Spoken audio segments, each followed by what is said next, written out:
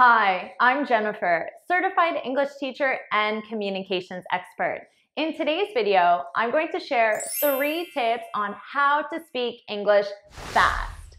At the end of the video, I'll share with you a bonus tip that will help you sound very natural. All right, let's get started. Tip one, don't speak English fast. Okay, so I don't want your goal to be speaking English fast.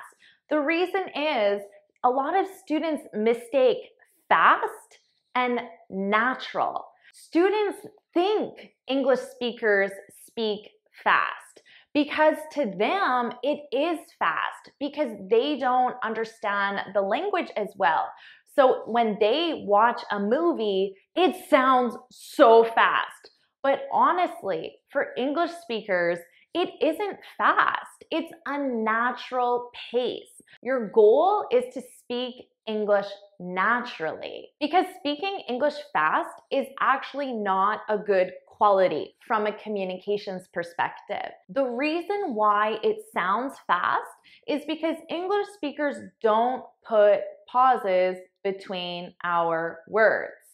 Pausing makes you sound unnatural and it also slows you down.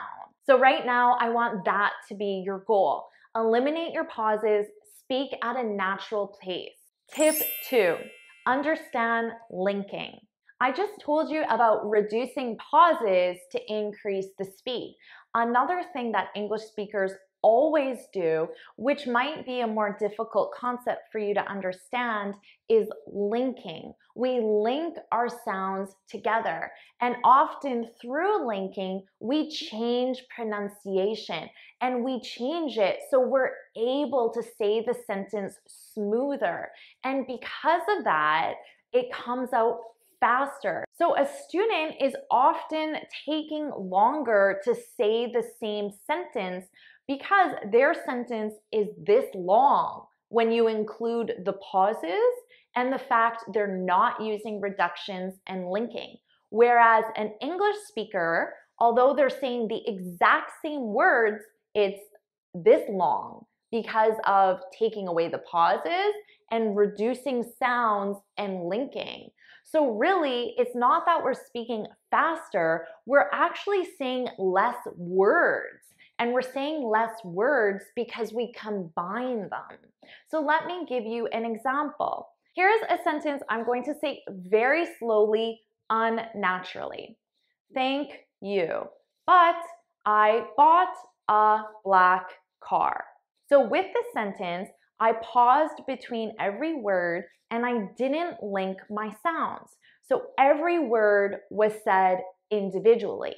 Now, listen to me say this naturally. Thank you, but I bought a black car. Let's look at what happens.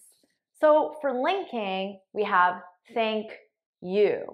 But what I do is I transfer that sound to the next word and I'm actually saying thank you, thank you, thank you.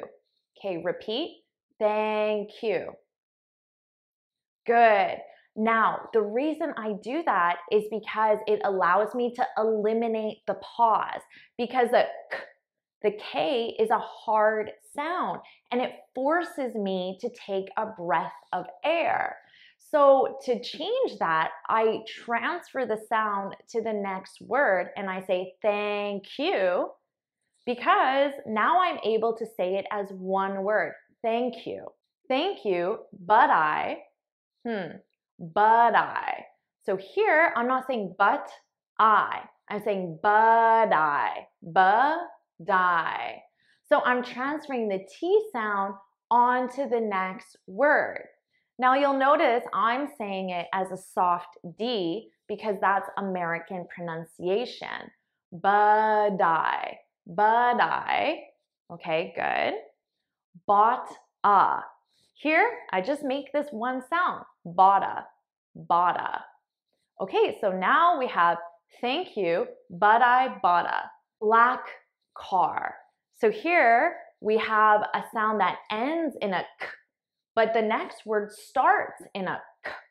So because of this, I just eliminate one of the k sounds and I use it to link these two words together. So I say blah car, blah. So actually, I'm not saying black. I'm changing this to blah, blah, which isn't a word, but I say it quickly and I combine it with car. So you hear the k on car, you hear it for both. Black car, black car, black car. Now it only works if you say it as one word. If I say blah car with a pause, it doesn't work. Okay, so all together, thank you, but I bought a black car. Tip three, practice slow and increase speed naturally. So let's take the sentence we were using before. When you're practicing this, start slow. So the way I said it, thank you, but I bought a, but I bought a, that's probably too fast for you right now. And that's okay. You can practice with a but I, but I bought a. Practice slow.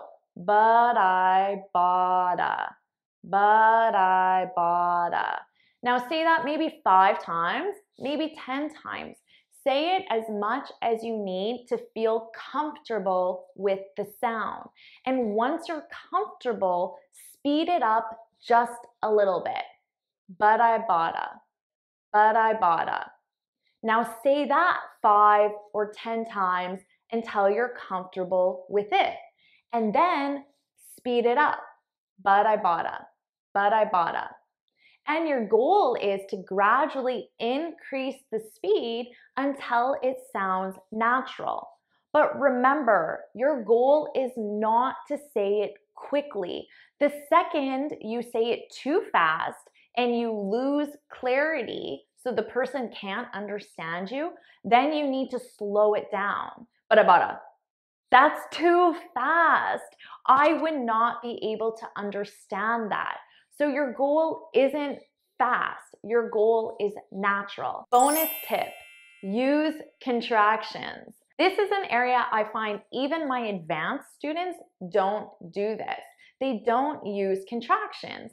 But again, let's take the sentence, I will see you later.